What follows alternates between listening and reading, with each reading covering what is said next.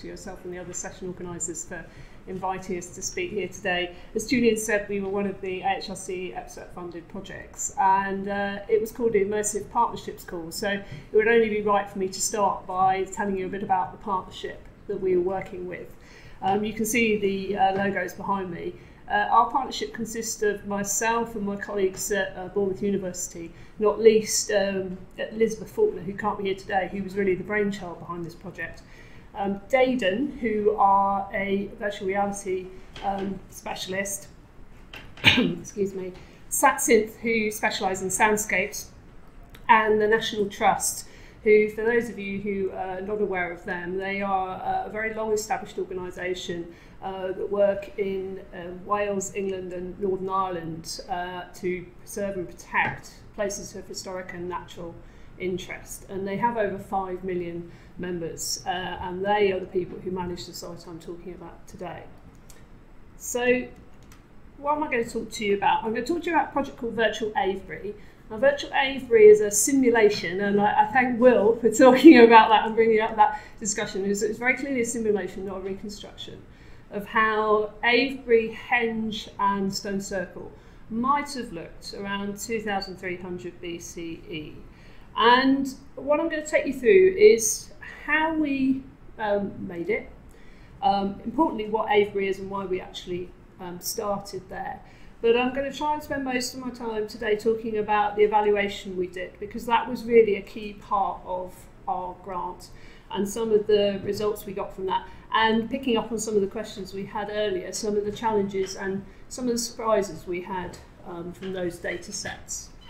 So let's start with, for those of you not familiar with the site, I want to talk to you a little bit about Avebury to give you the context of the site we're talking about, why we chose it in the first place. So Avebury Henge Stone Circle, it's a prehistoric monument. It's in Wiltshire, um, in central southern uh, UK. It is um, quite a dispersed uh, monument. The diagrams you can see on the screen behind me. Um, if you look, you can see the one that's got the, the labels on it, prehistoric henge. That henge, which is a ditch with an internal, uh, a bank with an internal ditch, is about a kilometre in circumference. This is a very, very large um, monument. Inside that, where you see it's written stone circles, there's a number of stone circles, the largest of which is about 350 metres in diameter, consists of probably over 90 stones, which are uh, anywhere between three and a half, four and a half metres in, in height. And then it's got a number of other stone settings inside it. I'm sure uh, the eagle-eyed you will have spotted that currently this monument, and it has had for many uh, hundreds of years, has been dissected by a number of roads. It has an entire village in it, uh, and a range of other buildings, and um, it is on one of the main thoroughfares to uh, Swindon, a, a large uh, town to the north of it. So when you visit it, it's quite disarticulated, or it can it can feel that way um, for the visitor. So unlike the other famous monument that it's situated in the same World Heritage Site as, Stonehenge, which some visitors to Avebury still believe they're visiting. Believe me, I discovered this summer, um, which was quite a shock. That was a surprise. Um, but um, it, it can be very hard to get a sense of actually what the monument uh, looked like um, when we're talking about prehistory. So uh, the National Trust was very interested in different ways of presenting this um, to the public. So that led us to develop Virtual Avebury.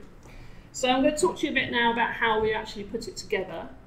Um, we started with the Environment Agency LIDAR data, um, and Daden took that and they used their own Fieldscapes platform um, to create some of the first terrain models.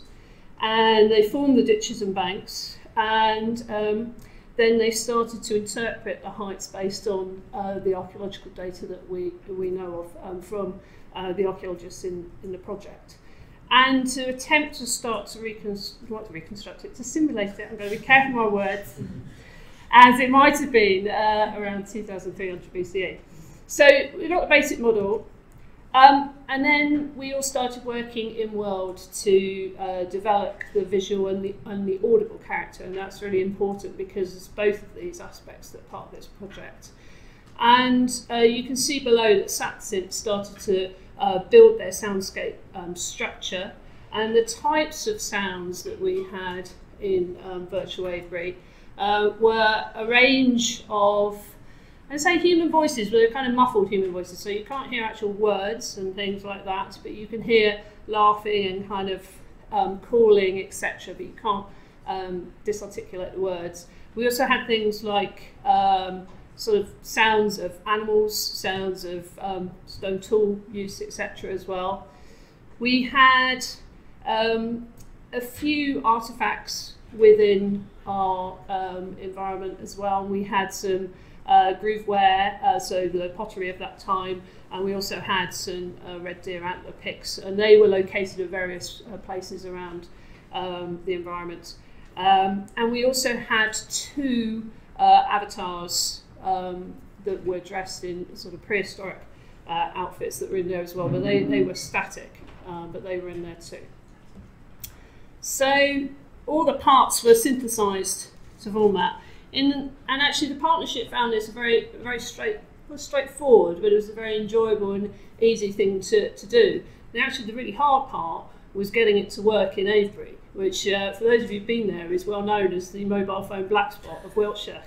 uh, and um, uh, at the time, we were having to run it off off Fieldscapes, so we needed that mobile phone connection, and we managed to get around this um, by a variety of um, tricks involving uh, bamboo sticks and uh, little mobile phone um, connectors.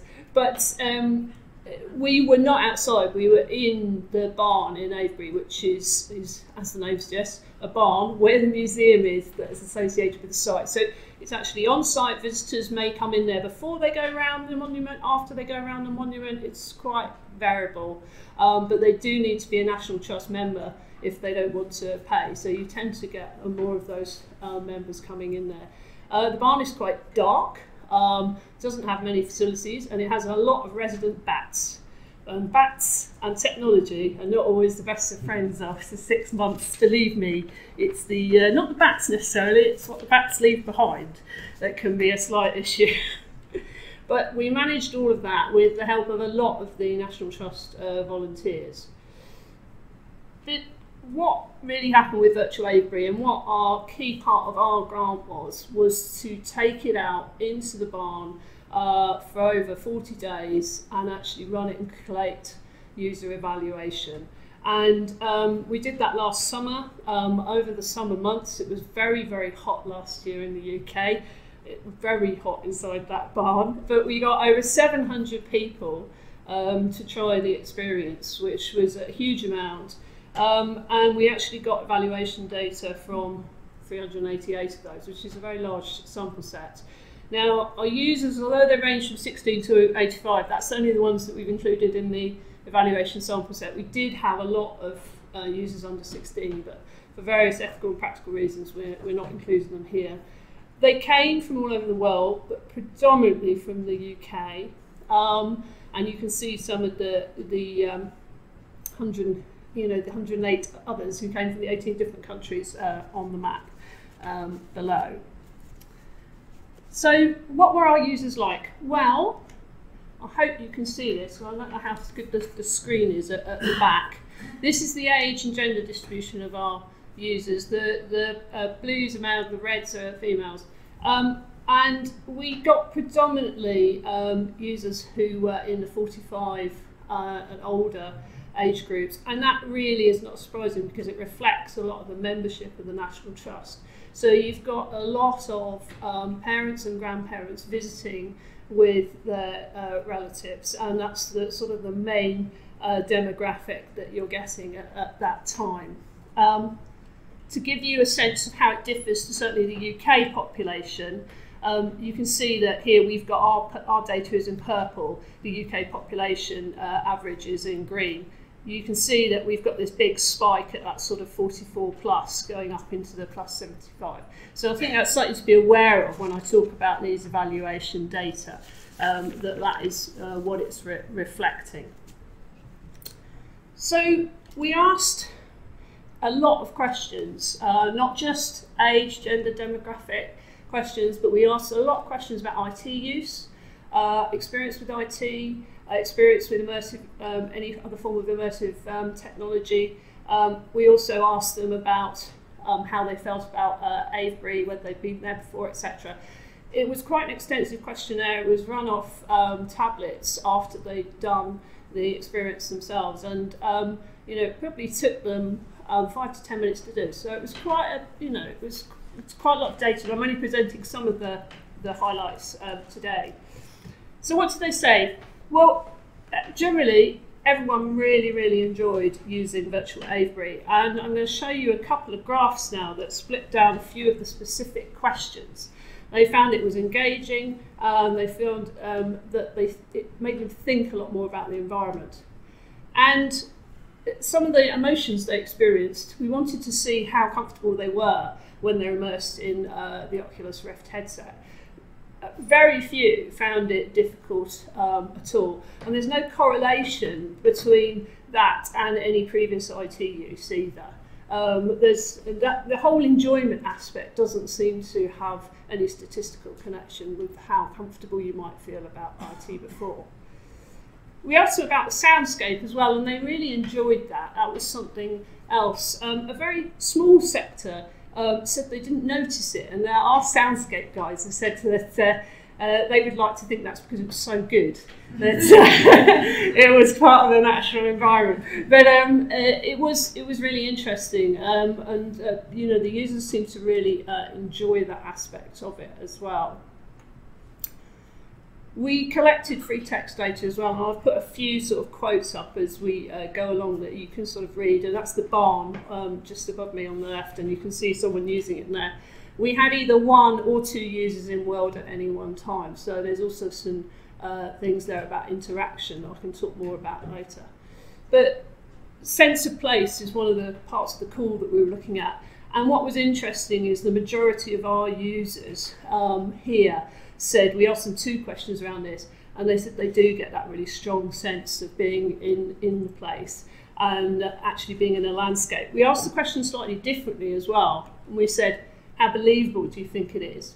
Uh, and you, know, you can see then the majority think it's either fairly or very uh, believable um, uh, to to be there, and they seem to like the appreciation of, of being in VR, but then being able to go out into the monument or vice versa. You know, you're, you're not um, very far from it. But what I want to end on, I suppose, is, is I want to explore one of the things that was a bit surprising to us. Um, and what we observed um, when we were doing all of the uh, evaluation was that often we would get groups, family groups coming to us, and what we would get was we would often find, particularly women, probably over the age of about 45, would be reluctant to try the technology. They would rather let the, you know, the uh, male member of the party and the child go first.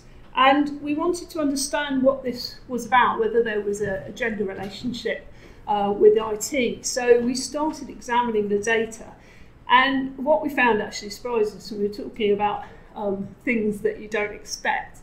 When we looked at the data, unsurprisingly, in the 16 to 24 age group, they're the highest users of um, using uh, games and IT.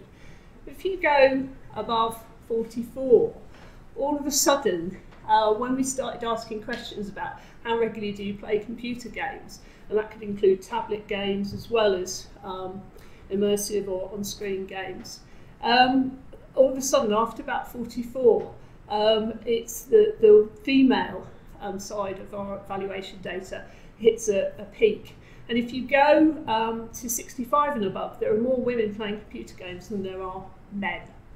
And so it's made us really think about what it is we might need to do in iterations of Virtual Avebury to make our work more accessible um, to uh, those uh, people over 44 um, who are women. And I should say though, when they tried it, they loved it. So there wasn't, it was just that reticence to sort of step over. But it was really interesting to see um, something that I think many of us had felt mm, sort of, you know, stereotype of who actually plays computer games. In our data, there's some very surprising uh, results from that. So just to sort of wrap up, really, I suppose what I, you know, what I hope I've shown you is just a sort of snapshot of some of the, the data we've got from Virtual Avebury.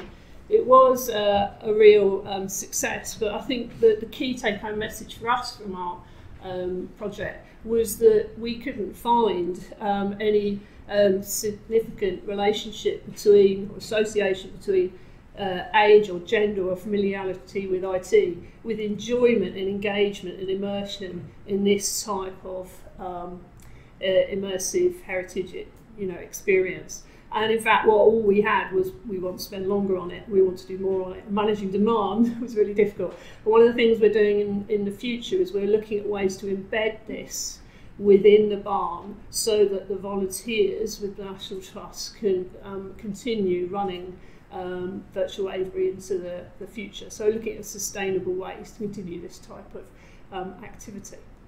So thank you very much.